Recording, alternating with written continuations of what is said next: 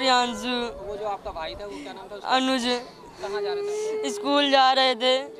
क्या हुआ उस समय? यहाँ से जा रहे थे ट्रक वाला आया वहाँ से चढ़ा दी हम ट्रक से नीचे घुस गए हमारे टक्कर मारी तो। वो आपका बड़ा भाई था? नहीं छोटा था।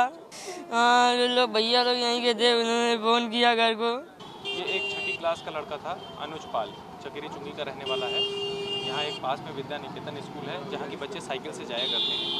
तो एक तेज़ रफ्तार ट्रक ने इसे किनारे से निकलते हुए टक्कर मार दी जिससे उसकी मृत्यु हो गई।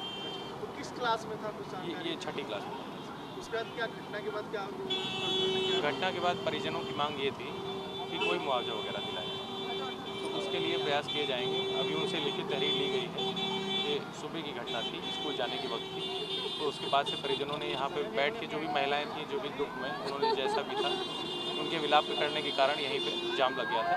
फिर उस जाम को खुलवाया गया है। बाकी आगे की विधिक प्रक्रिया जो है इसमें इसे लिखित तहरीर ली जा रही है।